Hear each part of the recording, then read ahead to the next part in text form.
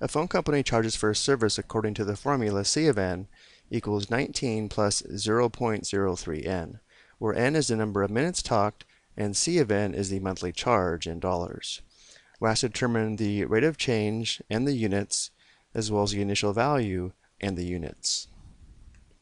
In general, when we have a linear equation in slope-intercept form, or the form y equals mx plus b, m, the coefficient of x, is equal to the slope, which represents the constant rate of change, and b, the constant term, is equal to the vertical intercept, which represents the initial or starting value.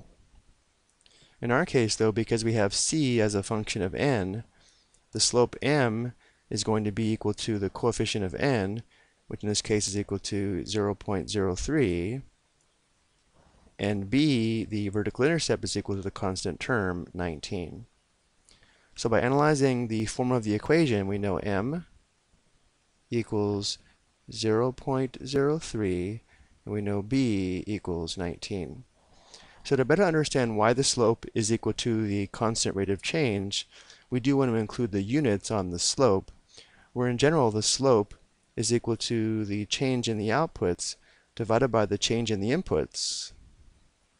But in this case, notice how the outputs are C of n, which represents the monthly charge in dollars, and the inputs are n, which are equal to the number of minutes talked. So we can say the slope is equal to the change in the monthly charge in dollars divided by the change in the number of minutes talked.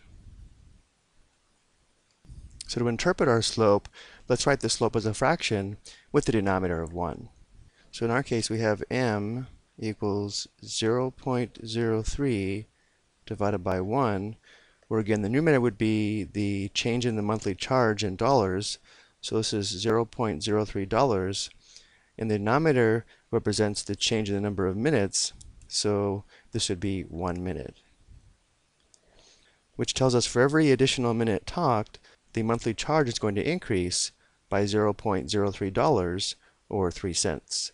This is often rewritten as just $0.03 per minute.